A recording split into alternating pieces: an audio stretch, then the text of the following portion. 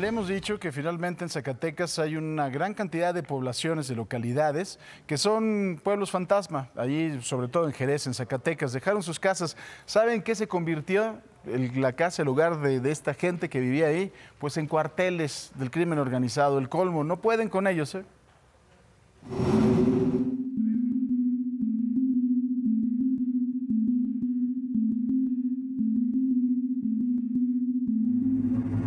Estas viviendas de las comunidades de Jerez en Zacatecas no solo se encuentran abandonadas, se han convertido en cuarteles de combate utilizadas por la delincuencia organizada. Algunas están marcadas con quinta, otras por las balas de los enfrentamientos. Es la zona cero de la guerra entre los dos grupos delictivos con mayor fuerza en México.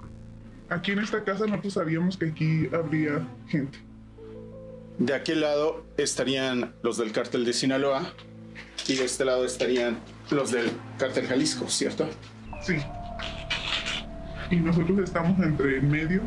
La comunidad de Sarabia es una zona de guerra entre el cártel Jalisco Nueva Generación y el cártel de Sinaloa. El lugar donde me encuentro es precisamente el punto. Esta comunidad donde se da el mayor número de enfrentamientos entre estos dos grupos de la delincuencia organizada. Esta casa verde a mis espaldas es utilizada constantemente como un cuartel de guerra y cambia de bando entre los dos grupos porque desde aquí se divisan todos los caminos rurales que son utilizados constantemente para el trasiego de nervantes en cantidades industriales. Por, su, por la altura de la casa es... Eh, pues es muy estratégico porque pueden mirar hacia diferentes lados. Entonces creo que aquí por eso han estado en esta casa y pues se ha mirado que la han dejado destruida.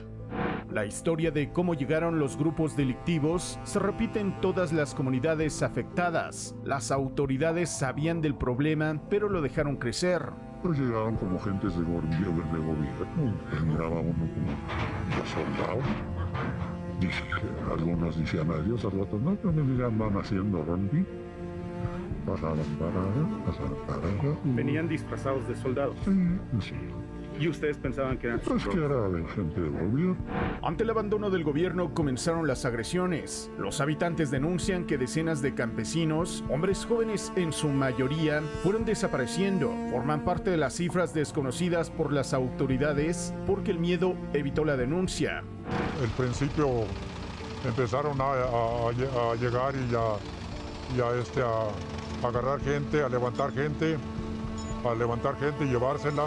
Chavalos que se los llevaron, nunca regresaron, no sabemos qué pasó, si, si les, les quitaron la vida o los traen trabajando con ellos.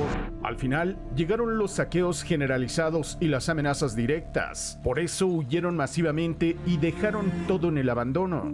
Los habitantes afectados coinciden que se necesita una vigilancia permanente en la región porque en cualquier momento que los dejen solos puede ocurrir una tragedia.